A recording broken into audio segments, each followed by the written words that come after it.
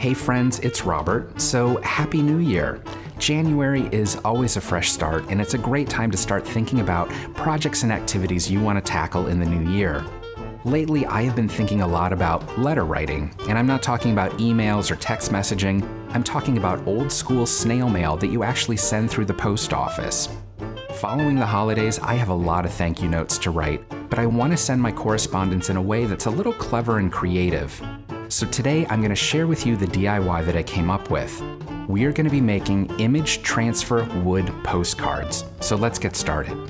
Now for this project, you're going to need to go to your craft or hobby supply store for a couple of materials. The first thing you'll need is the wood that we'll be making the postcards out of, and then you'll need the material that allows you to transfer any image onto that wood.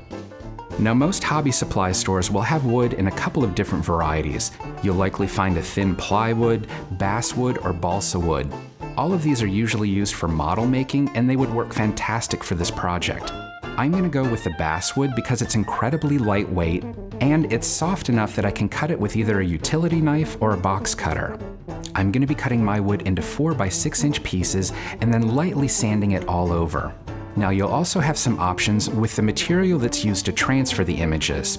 You can use something called a gel medium, it's found in the painting supply section, or Mod Podge also makes its own image transfer solution, and that's what I'm going to be using. Once you have those materials in hand, you'll need to select the images that you'd like to transfer onto your postcard. And here you have a world of options. You can use black and white or full color, family photographs, Instagram photographs, or even artwork that you or perhaps even your child have created. What I'm going to be doing is repurposing images from old postcards that I've collected. I've got some fantastic views of New York in this bright Technicolor.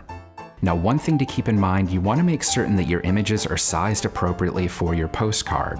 I had to scan mine into my computer and enlarge them slightly. And then the next step is really important. You need to make photocopies of your images. Most of us have inkjet printers at home, and unfortunately, those prints won't work for this project. You need to have copies made on a machine that uses a toner cartridge, and this is typically what you'll find at your copy center, office supply store, or even the public library. Once you have those images in hand, we're ready to transfer them onto the postcard. Apply a liberal amount of the transfer medium onto the top of the wood and spread it out using a foam brush. You want to try and get a thick, even layer. Then take the side that's covered in the solution and press it down onto the face of your image. Flip it over and lightly burnish the back to remove any bubbles or wrinkles.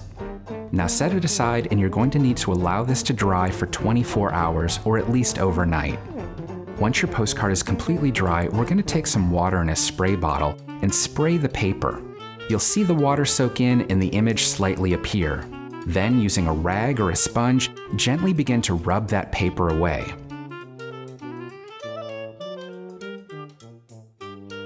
Once the paper is completely removed, you'll see that the image has completely transferred to the face of the wood. Once the postcard is dry, it's ready to use. You can flip it over and address it and write a note to the recipient. I've found that ballpoint pens actually work best with this type of wood.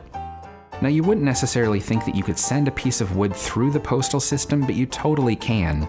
Depending on the size and weight, it'll probably cost a little bit more than a regular paper postcard, so be certain to take it into your local post office to have it weighed. I do hope you'll give this project a try. I can guarantee the recipients are going to love them and they're going to end up displayed on their desks, their bookshelves, or even their walls. Now, if you haven't done so already, I want to invite you to subscribe to my own channel by following the link in the video description below for more great DIYs. Thank you so much for watching and please join me again next time.